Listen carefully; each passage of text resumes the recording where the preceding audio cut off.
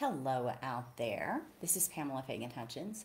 That's Eric, not Fagan Hutchins, my husband. He's going to keep me from getting boring tonight um, as I talk with you guys. And I am the author of Livewire, which is one of your Pulpwood Academy bonus picks for this year. It's a romantic mystery, and we're going to talk about Livewire, books, and reading, and writing, and life in COVID, and whatever else we feel like talking about tonight. And I'm going to give away a lot of prizes because that's how I roll. Lots of ebooks, lots of audiobooks. I hope to entertain you and keep this really engaging. And I'm going to turn it over to Eric for a second while I take care of some housekeeping to tell you a little bit about where we are and maybe even weirdly enough about um, who his wife is. Maybe we'll get there. Who's your wife? I'm not sure yet. so we're coming to you from a hand-hewn log cabin that is uh, at 6,000 feet on the face of the Bighorn Mountains uh, near Sheridan, Wyoming. And the place is incredible. It was made, uh, built by one family over a period of about two years, and it, and it was built as a bed and breakfast. And in addition to the awesome Pamela Fagan Hutchins that lives here now, uh, I won't drop any names, but a lot of uh, famous authors came, Oh, come through here and, drop some names. and, and stayed here uh, when it was a B&B. And so this place has soul. In fact, the, first time that Pamela and I uh, came to look at it, she turned to me. The first thing she said was, "I could write here," and uh, here we are. And um, and Pamela, uh, her connection to this area is that uh, during some of her early formative years, she was uh, raised in a little town called Buffalo. It's about 30 miles south of here, um, uh, Buffalo, Wyoming. And in fact, she told her parents that they ruined her life when they moved her away from here. And so she's been she's been plotting ways to get back to this part of the country uh, Pretty much ever pretty since. much ever since. Yep, that's correct. So, housekeeping is done. How did he do? Um, comment and let me know how you think my assistant did here. Um, so, here's what we're going to do tonight. I think that it's super awesome that you guys in Pulpwood Academy get to do online book club, especially with COVID going on. It's just, it's the way that we have to do it, right? And you get to chat with and engage with authors of the books you're reading, which I never got to do when I was an avid reader, and I think that's super cool too. But I think it's even more fun if we talk together. And so I'm going to be encouraging you to leave comments tonight. And in order to do that, I'm going to give prizes for those comments. I'm going to give away ebooks, give away audiobooks from my entire library. First, we're going to start with the Maggie books, of course. And at the end of tonight, I'm going to give away a doozy of a prize. You don't want to miss this one, I promise. What I hope that you will do is answer the first one for me because we're going to practice. I'm going to give you a prize basically for breathing, but I'm not going to actually go through and pick the winners until a day or two from now when everyone's had a chance to look at the replays of the video and answer the questions. By the way, this is live video, so you're going to hear our dogs. You may hear people walking around in the house because we're not alone. We're keeping it real. So here's how you answer the first question type a one, that's because it's question number one. And to enter to be chosen, just tell me, number one, the city and state you're joining me from. Easy enough. And I'll choose a winner of the um, whole set of Maggie Killian mysteries Livewire, Sick Puppy, and Dead Pile from somebody that answers that question. And by the way, these questions aren't going to be hard.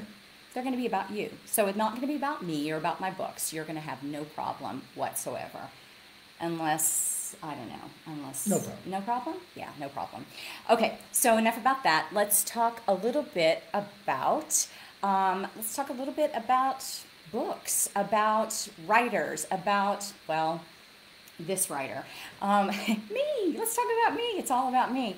Um, first of all, what do I write? Um, well, I write a super series called the What Doesn't Kill You Super Series. Super series. I may or may not be drinking a Refresca as we as we do this video.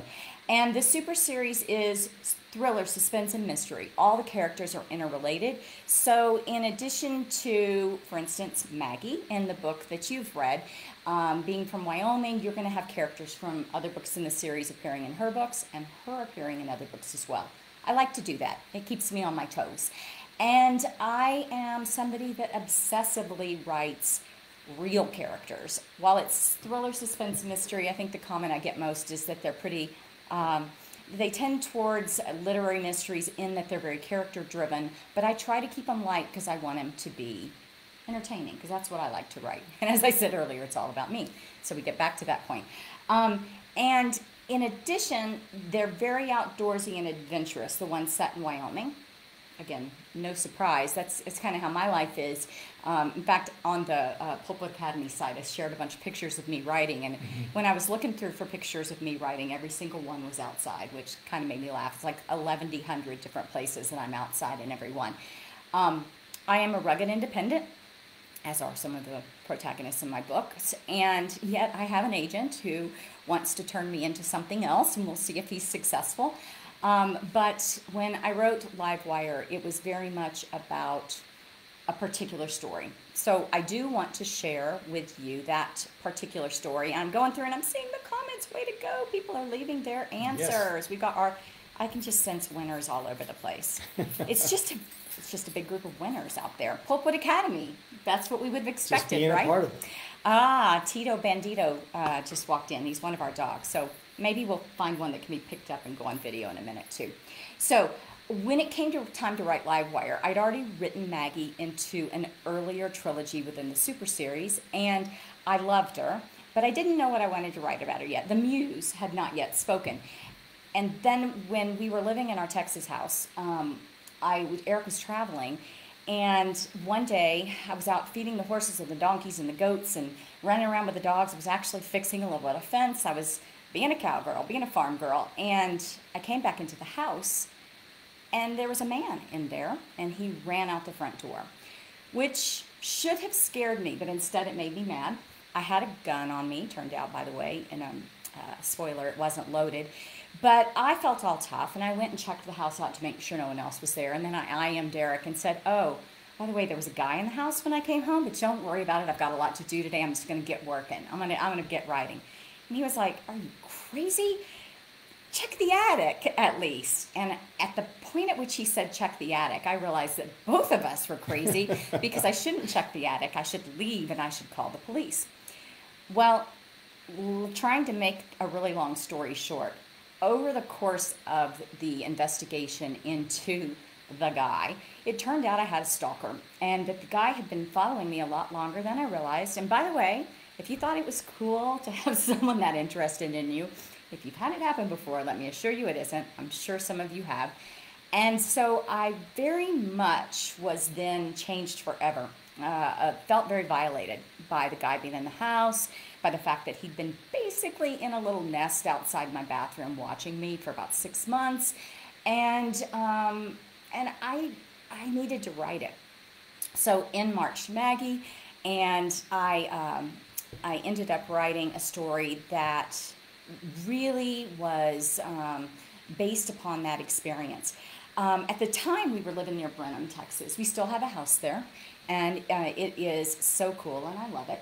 And now, of course, we're full time here since my husband's retiring. So, with no further ado, I think I should move to the second giveaway. Mm-hmm. Um, all right, so number two is write a number two with your answer, so I'll know it's for number two.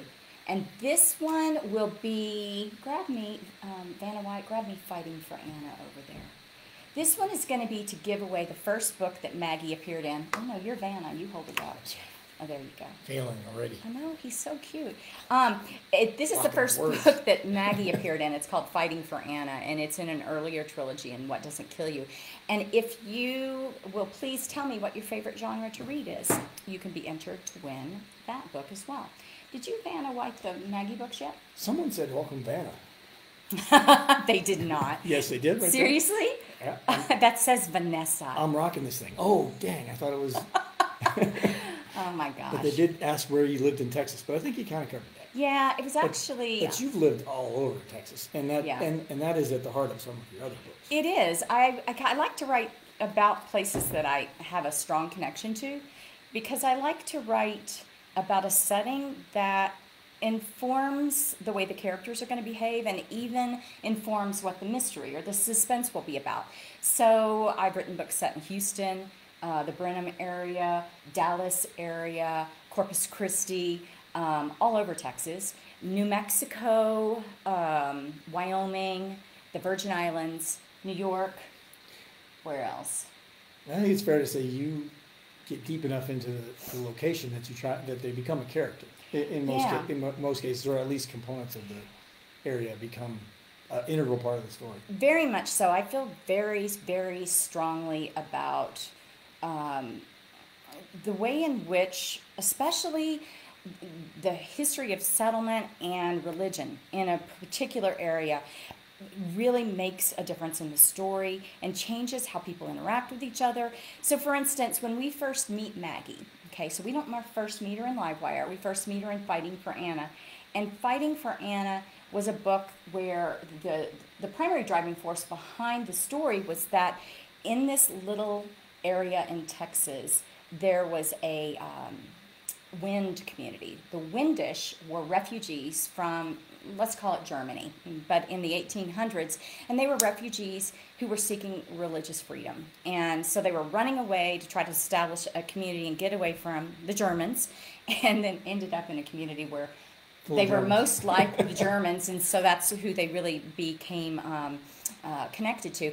But it was a really restrictive religious environment in some ways, and so our character in Fighting for Anna had run away from this religious community, and ultimately um, that's what drove um, the mystery. So I like to dig in like that, but I also enjoy, for instance, in the Maggie books with Wyoming. To me, what Wyoming is is is it is that constant is it the hero or is it the bad guy? Because it's beautiful and it's rugged and inspiring but the weather and the and the terrain can really be killers. And sometimes you can really amp up the tension and suspense by using things like that. Whoa i'm falling behind on the comments. Keep going honey. And you're doing really good. interested in, you're in in the Native American versus settler history and that the good and the bad of that and the way that the story can be told from either direction. And, and there's so much I use the word soul again but around here so much history here that's really really powerful if you get into it. Yeah, and when we again are thinking about Maggie and, and thinking about this area where these books are set, um, Maggie discovers that she is as much Crow as you are Northern Arapaho. Go Arapaho. So Eric is part Arapaho. But Maggie discovers that she is um, a little bit Crow, which she hadn't known. It makes her feel a real affinity for the area. And it, when we first moved up here, what we were hearing a lot from people was with how close the different Native American cultures were to the land and to um, to the animals, and that they felt like uh, there was just a stronger spiritual connection that lived beyond their lives. So everybody had their sighting story. Eric and I have ours as well, a couple of them, um, where people believe that they have experienced or seen um, people from long ago, Native Americans from long ago. And so that made its way into this story. The Amish culture made its way into this story, which was because of, well, this is a funny story. Yeah Go for the go, Yeah, go for on this story. Okay, there's an Amish community north of here in Ashland, Montana. We were looking to have somebody come and build a fence on our very steep property on the face of the Bighorns, and nobody in Sheridan wanted to do it. It's steep, and as my dad would say, they don't call them the Rocky Mountains for nothing. In- Sorry. inside joke Inside joke, but oh. Um, and so we were looking for someone that wanted to do this work, and were um, referred to uh, an Amish family. And we went and met with them, and they said, "Sure, we'd be happy to do it, but you got to come get us on a Monday morning and bring us home on a Thursday night and put us up for the week and feed us while we're there because we don't drive and we can't come back and forth. It's two and a half hours away." So for a couple of weeks, um, a few summers ago, we had an Amish family that would come and live with us in this cabin, um, one week at a time, and that went so well. They came back and did other things with us, and we just really, really had a great experience with them. And so I was writing Livewire at the time, so no surprise, the influence of the Amish community and the way in which people in the Amish community will commute down here and work in this area made it into the book. And I had a lot of fun with that throughout the Maggie series. So, yeah, that you know, the, you don't have the same kind of murder in my books that you would have in Manhattan when you're in Wyoming, right? So one of the things, Eric and I storyboard together, which is super fun. Eric's a good idea guy. He is a butcher of the English language. Can't can't write a sentence, can't spell, but he's a great idea guy. And so we storyboard, and um, and I'll always say, okay, give me a new way to kill somebody. Sometimes I've already come up with them myself. We'll be walking around, and I'll go, I could kill somebody with this. This would make a great murder weapon, and you know, there a story idea is born. But usually, my story ideas come more from the culture, and then we work to look within that culture and that setting for what would be the best way to off somebody. Dead so, pile. yeah, dead pile. So the third Maggie book, Vanna, Vanna, please. Um, the third Maggie book is a dead pile, and we were a couple summers ago. We have big draft cross horses. Um, they're so cute. I wish we could have them on video. They would like to come in the house, but the floors would break. Um, we have big draft cro- cross horses, and one of them does make it into the Maggie books, and that would be Katniss. The character, the horse named Lily, is based on my Percheron mare Katniss. Anyway, we had our horses at this ranch called Piney, um, Little Piney Ranch. I was going to call it Piney Bottoms. That's the ranch in the book. So we were at Little Piney Ranch, and the um, the guy running the ranch, we were just sitting around chewing the fat one day, and um, we asked him about this big pile of dead animals that was on the back side of the ranch where we'd been out riding.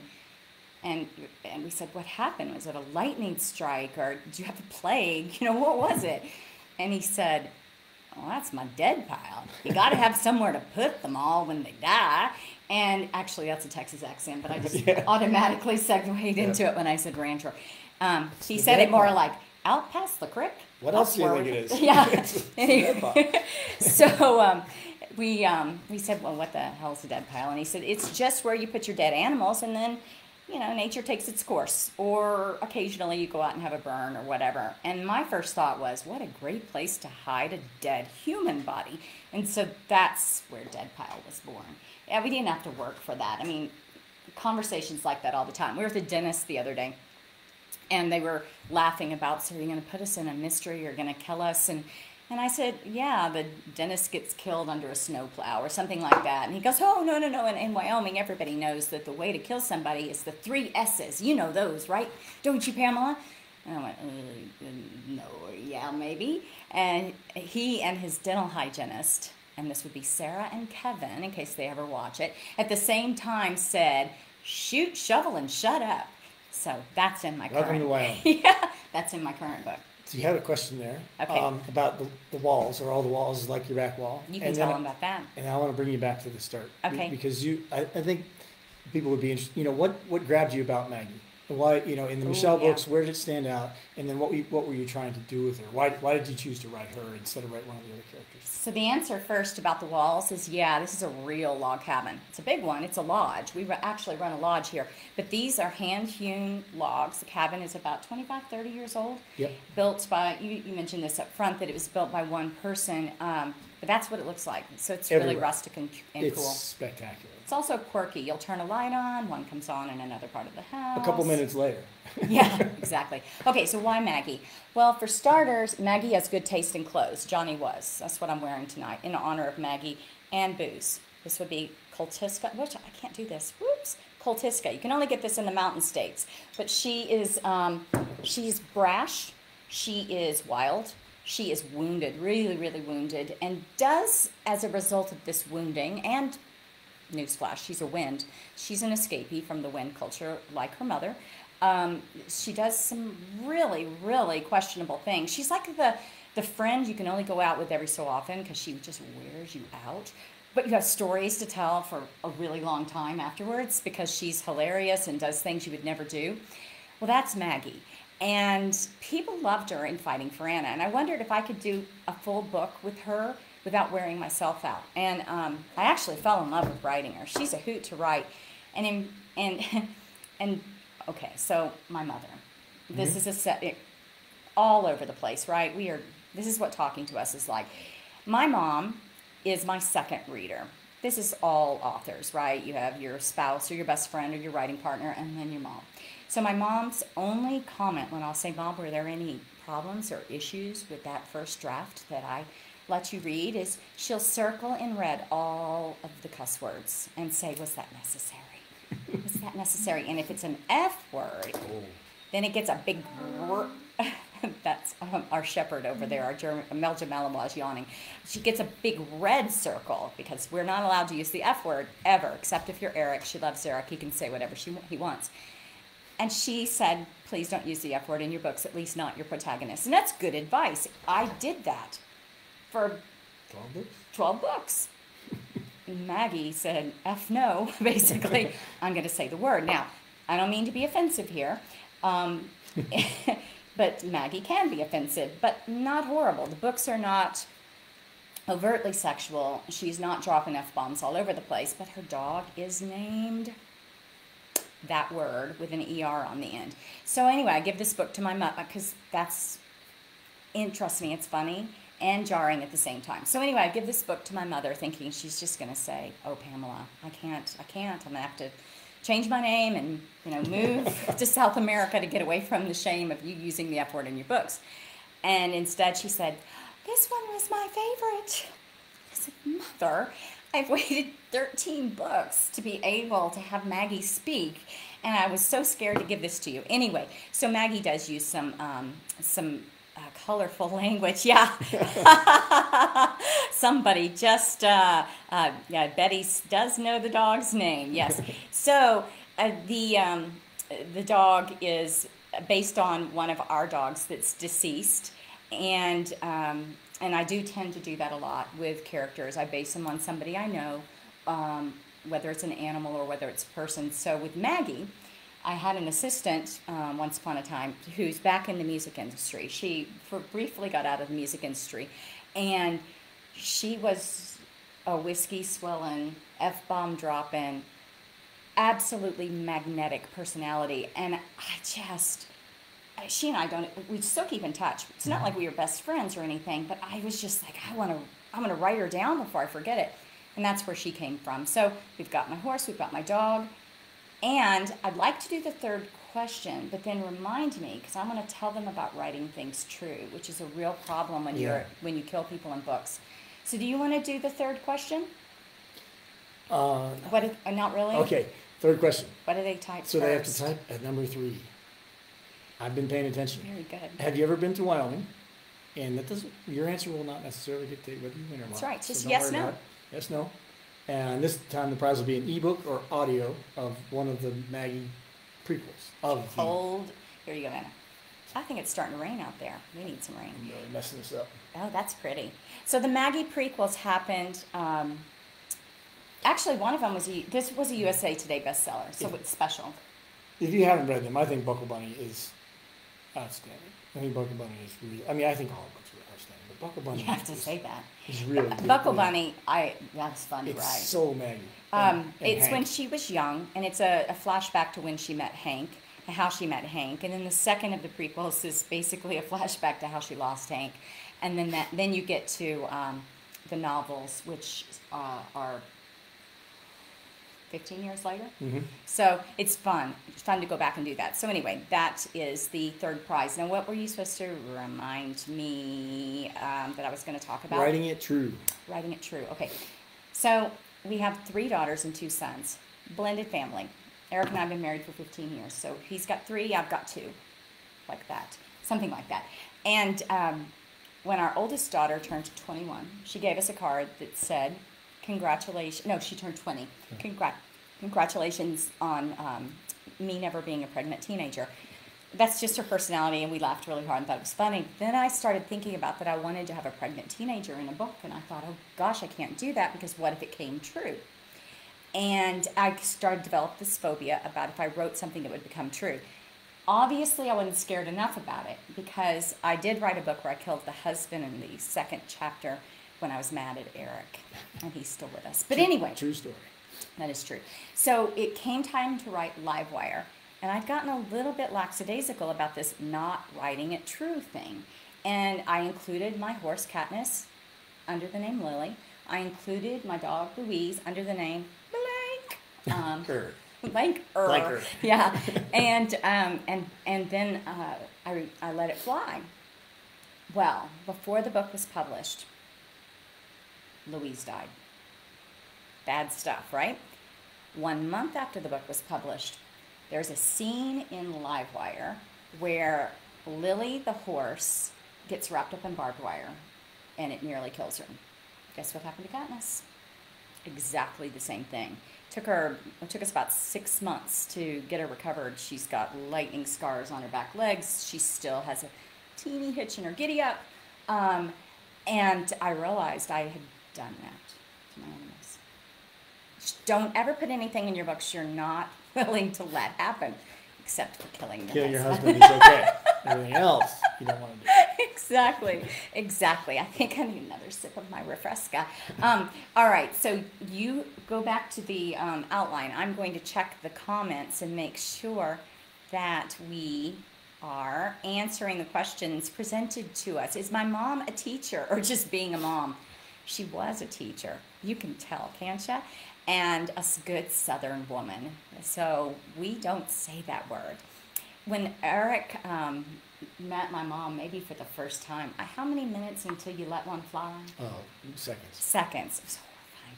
And so my parents weren't really enamored of him at first, mostly because of that. And now he's their favorite person in the world besides their grandchildren. So I don't say that word around them, and, and I'm not their favorite. But Nandita wants a virtual tour. So, Nandita, what we'll do is at the very end, we're going to do a virtual tour. But I want to wait because it'll make people really seasick, and I want to give them the chance to opt out of the virtual tour. All right. So, one of um, the things about Maggie is that she is not a girl's girl. She is. She has a few best girlfriends, but for the most part, women don't love her. I can relate to this. I haven't had a lot of really close girlfriends in my life, so that part was easy for me to write. But the animals seem to see right through it, and Maggie does seem to have a way of the animals really seeing the good in her, seeing past the F word better than my mother does. Um, and, uh, honey, were you turning that page for a particular reason? Yeah, because you had already consumed everything on the first. Man, we're doing so good. You're right on time. Am I? Yeah, Okay, cool. Twenty-six minutes into it on second page. You're If I was by myself, this would not be nearly as much fun. I want to tell you guys something funny about Eric because actually I think we're about four minutes ahead, just ahead of schedule, and that is, I'm currently um, my current series that's out is actually a, a book for next year with Pulpwood Queens, and that's the Patrick Flint series, and the first book is called Switchback. So a couple of years ago, we were up in the mountains here, and oh, not I that s- story. yeah, this story. And I snapped a picture of him looking at the ground. And at the time, I just was snapping a picture because he's cute, and I always snap pictures of him, but it turned out really hot. So my assistant said, "Oh, That's totally a book cover. And I said, Well, if I wrote romance. And she's like, No, I think everybody'd love it. Well, it wasn't high res enough, so we couldn't use it for a book cover. But we got ready to enter the fray of the um, Brave New World of online advertising, and I needed an image for the Patrick Flint books. And I said, What about that hot picture of Eric up in the mountains? There's been like 20,000 um, shares and comments on this picture of Eric now. He's like a social media star. I, I, every day I read him the comments about, you know, like the, the tagline on the ad says it's impossible to put down. You just don't even want to go there with the things people are saying. So anyway, it's very funny, and um, and now he's offering his services as a male model if anybody needs him. He's not. but Nandita said she's only kidding. We don't have to do that disifying tour.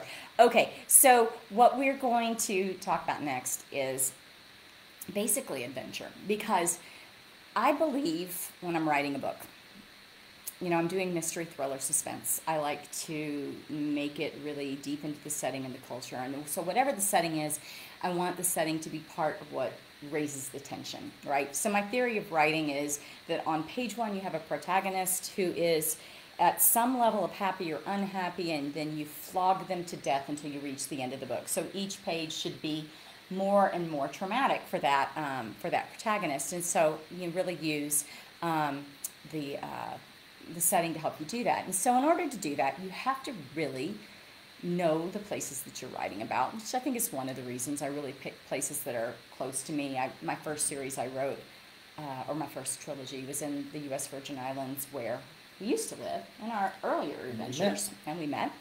and then I wrote a second one there, and then I um, uh, wrote some that were set uh, on a quarter horse racing ranch in New Mexico. Um, I've got. Um, I was, just, I Michelle. was looking at question. Yeah. Sorry. Oh. Michelle, it started in Houston. And started in Houston, but they were triathletes, which was something Eric and I were really into for a while. But I try to pick an area and an activity that I know enough about that with a little research I can get away with um, creating an adventure around. And so with Maggie, and, and the other thing I like to do is, is make the protagonist a fish out of water. So that I don't have to make her the expert in these things, but instead, just like you and me, the person that is maybe terrified by whatever this adventurous thing is that happens to them. Like, for instance, with Maggie, it's getting up and riding a giant horse that she's never been on before. And ultimately, in Livewire, she has to be able to. Um, to ride that horse um, more than once, um, or bad things will happen, and get over those fears. So, those adventures are things that I embrace. One of the series that I wrote, the one that was on the ranch in New Mexico, involved um, sex trafficking, human trafficking, the whole um, trilogy did. And I went to a certification course to be a volunteer with people that had been rescued from um, sex trafficking, minor uh, females in particular, and used equine and art therapy to help them get over the experience. And so we try to do things that are immersive like that for each of the books. And that's what we did with Maggie is we really threw ourselves we went up and did a camping trip that was a month long up in the mountains up here. We took our horses.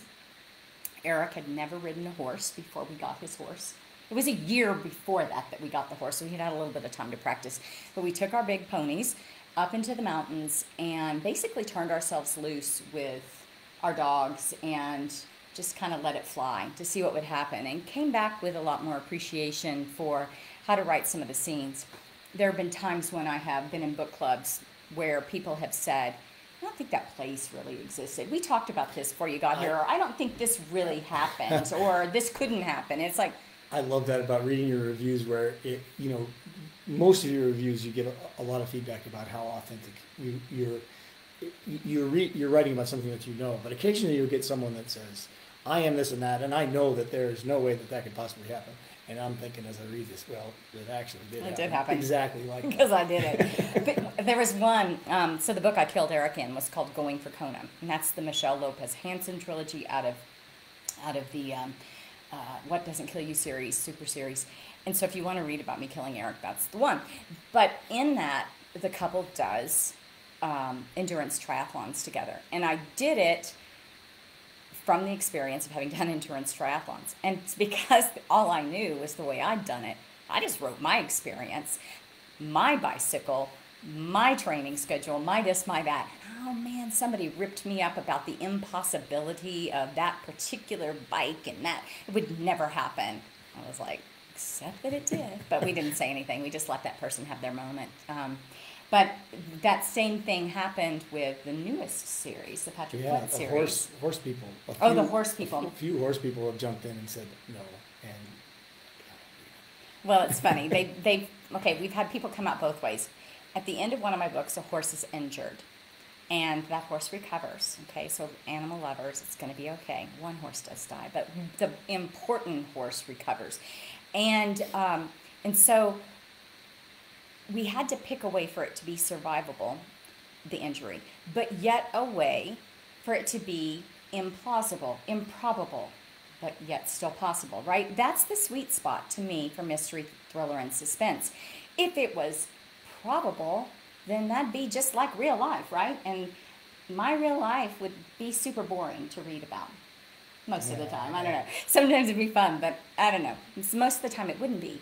And so I'm looking for that tiny sliver of almost not possible, but still is. And so there were people saying, that is so unlikely, it would never happen. Well, we consulted with veterinarians and we sat there and talked about, okay, this is really unlikely. They'd probably put a bullet in this horse's head, but it is possible that they could get this horse down and save it. So anyway, we just laugh at the we laugh at the haters. Haters gonna hate, and um, continue to do really both of us, our research. And we're lucky because we've got in the family pilots, doctors, um, we've got veterinarians, we've got outdoorsmen, law enforcement, uh, friends that are judges, all the things we need. I'm an attorney, and um, that really helps with coming up with the things that we need. Um, and so I think that it's time for the fourth question, don't you? Yeah, I think it is. Okay. And then, and then yeah, getting into Patrick Flint and why you wrote Patrick Flint. Mm, okay. There is, I have to say, there was a question, a few questions about where do I see the picture? Oh, But- the picture. Oh, Sorry. should I post it? Should I post? I should. No, I don't think you should say Uh, that. I should post it. Um, I can't do it yet. I'll post it in Pulpwood Academy. I'll do the one that has the, the new ad. I, there's kind of a double entendre in that. I, I'll tell you about it later. Um, anyway, so I'll um, I'll put a um, picture of Eric in the ad. He also was in another ad campaign, a national ad campaign for Oh, a gosh. women's in was it No, you keep going there. It's not that, it was rheumatoid arthritis. I keep thinking it's incontinence, but it wasn't. It was rheumatoid arthritis. He had to run shirtless on the beach. It was awesome. Okay, so fourth question. So write number four. And what is the question, darling? Yeah, it's very appropriate. Would you kill off your loving husband in a book if you were writing mysteries? Just kidding. The real question is so write number four. And what is the silliest pet name you've ever heard or given to an animal? Hmm, Think in terms of the Foofy. blank er. Oh yeah, yeah. And the winner will get the entire Emily the, the Emily Bernal box set, which is that one I was telling you about earlier, where it's set in New Mexico and West Texas, and um, uh, the trilogy is based upon human trafficking. But it's really funny. I know that does that sounds incongruous, but it's really funny. It is. Yeah. And it's silly pet name and it doesn't have to be your own pet. Right. Whatever it can be any pet name. Yes, negative Nancy in every crowd. Thank you, Brooklyn. All right. So I had said I was going to talk about. Oh, Why did you write Patrick? okay. So, all right. So, with respect to what I'm writing now, it is it is both Patrick and not Patrick. For the last year, my life has been all about one character, one family, and one only. Oh my gosh, Lizzie Borden for a pet. That's scary. um, Oh. Vanessa. Um, I hope that was like a hamster. an axe wielding hamster. yeah.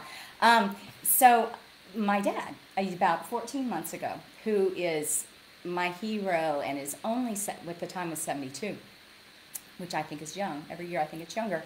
Um, he's a doctor.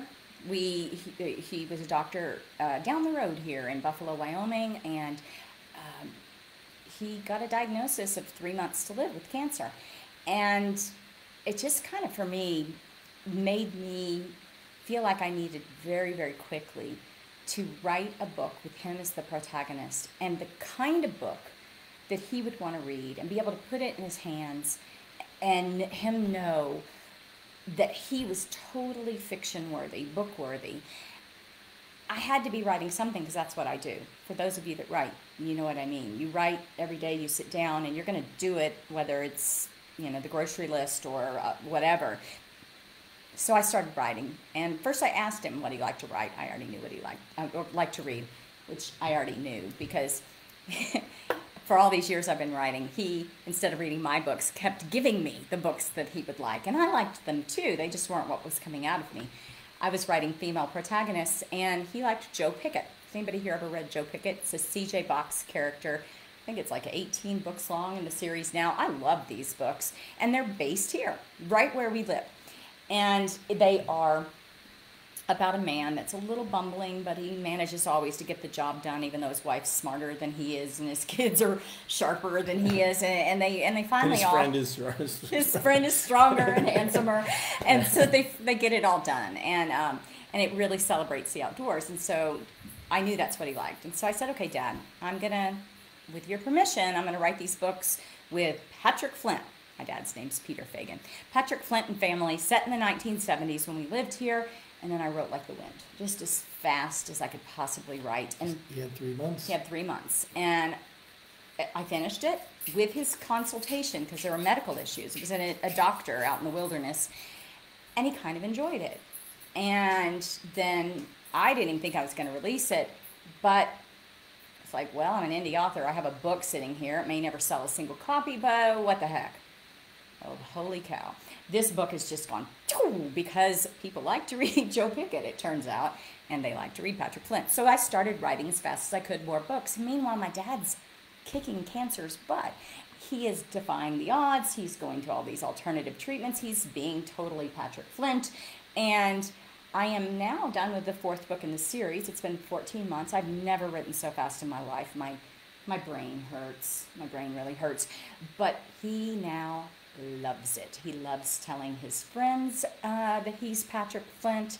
He loves seeing, he'll come to me with ideas. You know, I was thinking that that bighorn, rig, you know, regatta, whatever it's called, I can't even remember, uh, the ride, the big oh, ride, oh. that would make a good story. Yes. And what about, you know, and poses, and, and I think Patrick would, and it's become really fun.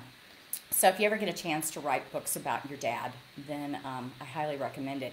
So those have been a lot of fun. They were actually the books that um, got me and this wonderful guy Joe in our lives, uh, my agent. But the book I'm writing now um, actually came about because of Patrick Flint and because of that agent. So let's do the last contest, and then I'll tell that story, and then we'll start wrapping things up. Yeah. yeah? Oh, because well, I didn't mention this earlier, but I do a weekly videocast podcast where I interview other authors. And I have really learned that going too long is a cardinal sin. And we've already gone longer than I usually go. So, fifth question. Oh, did you have something first?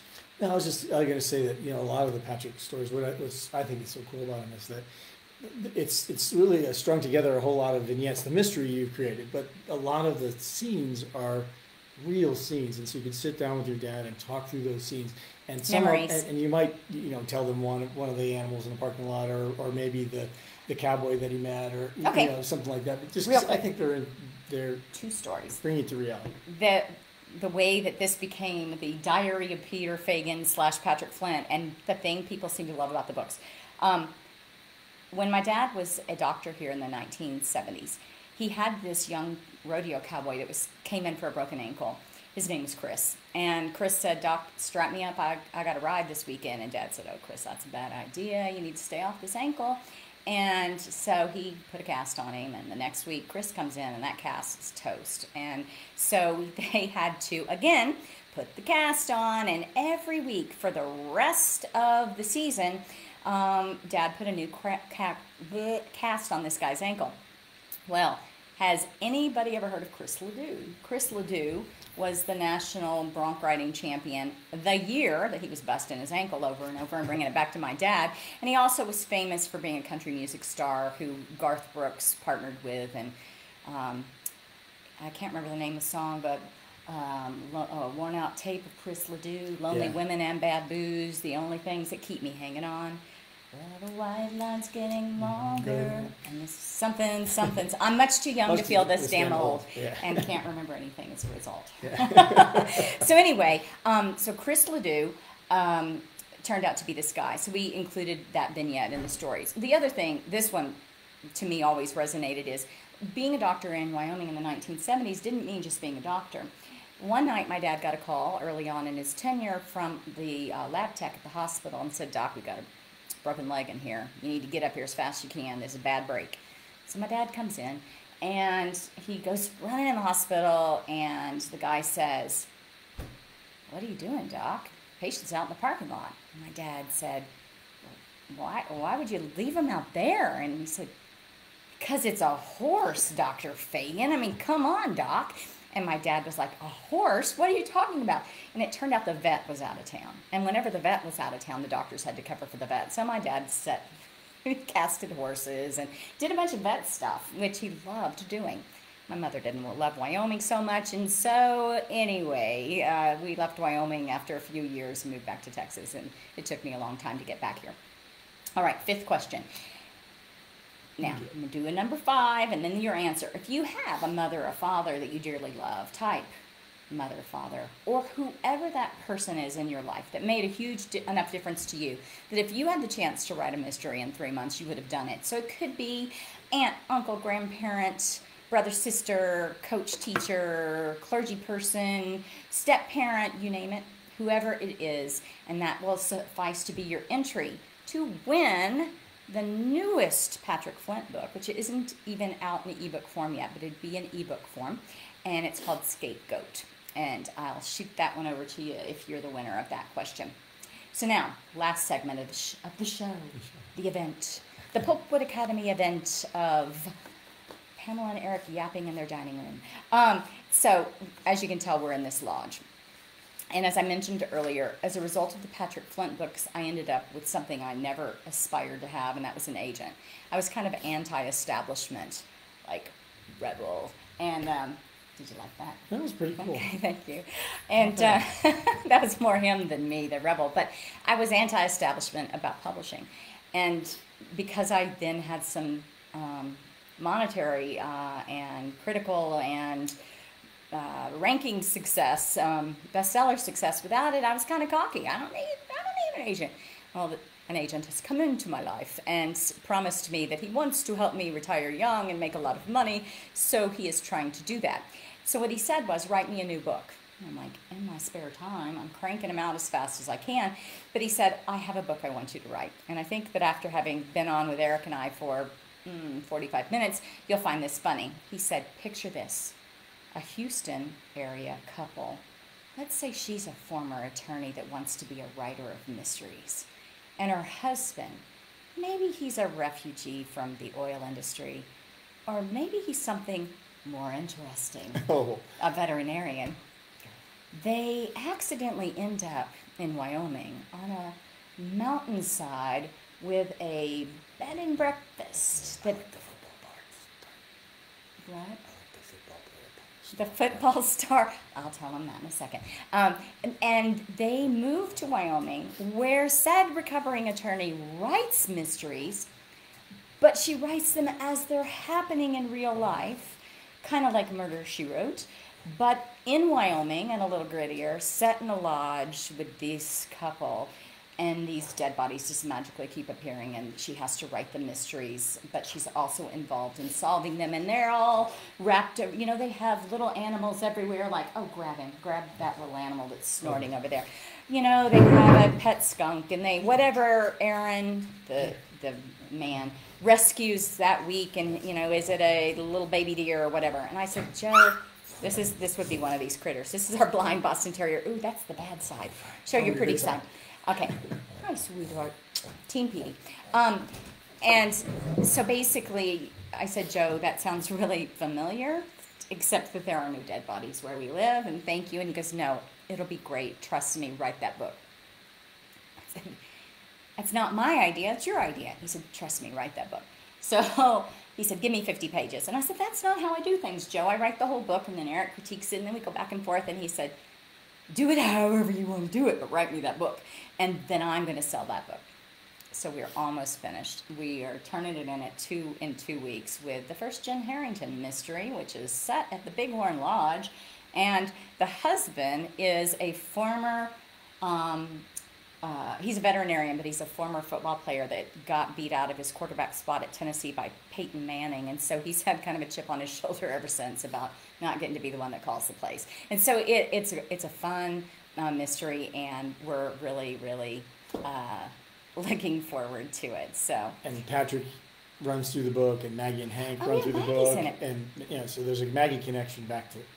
Maggie Maggie actually is big in this book because Yeah. she and Jennifer do not get along at all, and yet Maggie is the one that can shock Jennifer into recognizing the flaws in herself. So Maggie comes back, Patrick Flint comes back. It pulls all my worlds together, and um, it's a lot of fun. So I am, as I said, I'm busily at work on that. And honey, can you think of anything we didn't cover that was on our outline? So we actually had an outline because that's what we do is we make outlines. And um, I do, by the way, I'm not a pantser writer, I'm an outliner. Uh, that will be no surprise after that. Anything else? Did I miss it? The only thing you missed, you kind of covered it, but it's just why are you doing this? How did you get into this? Why are you writing?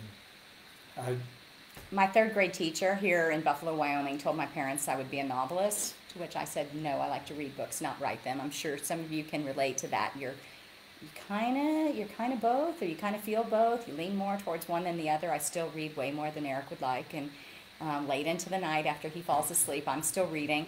Um, but that's what started it. And I'd written a whole lot of partial books by the time I um, met Eric. And when we got married, he said, What do you want to be when you grow up? Wasn't those exact words, but I can't remember what Close they were. it. It's close. To which I was offended and thought, Well, I think I've accomplished a lot and I'm fully actualized and formed. And he said, No, what dreams haven't you fulfilled that I can make possible for you to go after? That's a totally different thing, right? And it was one of the reasons I love him very much, one of many. And um, I said, okay, I want to run a marathon, and I want to write a novel. So on our first anniversary, we ran the marathon, and then five more, and a bunch of half Ironmans and stuff. And then he said, okay, where's the damn book? Like, oh crap, because that's a much scarier thing. That's a that's a fear of failure thing. If I write it and it's awful, then I've failed. But he went on a trip to India. He goes on. A, he used to go on a lot of international trips pre-COVID, and while he was gone, I wrote twenty thousand words as fast as I can. It became the book Saving Grace, um, which has done over two million copies in print. Um, so it's ah, I guess there was something to it, but at the time it was just a joke. It was here, damn it! I wrote the book and handed it to him, and um, and then he said, "Go, Pamela, go." This is good. So that's what I did. And here we are, how many years later? 12 years later after that, and, And talking about, well, I just, uh, well, I just am publishing the 19th, I'm finishing the 20th, and I've got the next two queued up and outlined. You're I not need even it. counting the nonfiction. Oh, I didn't count the nonfiction, there's six of those, seven of those. I need a break. I need to slow down. I'm going to. But I will tell you that as an indie writer, um, it's a little different from traditional where publishers want to keep you. Yes, Brooklyn, he is every woman's hero. And believe me that when you see the ad, if you ever follow it, the people that comment it are like, he's not just my hero, he's my hunka hunka. Anyway, um, but it is very different in traditional publishing. They want you at a pace that matches what they can publish and promote, and that's about one a year. Or if you're a romance writer, sometimes it's a lot faster. But I'm not. I'm a mystery thriller writer, and my friends that write traditionally mystery thriller come out with one a year. I come out with four.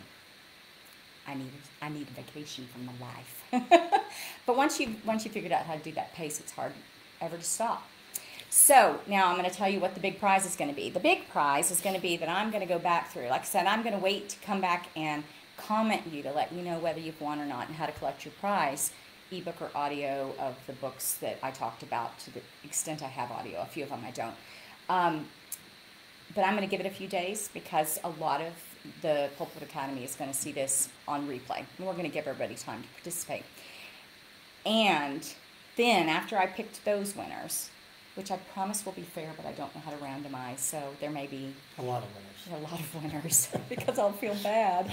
Um, is somebody's going to get the whole set? Somebody's going to get all 19.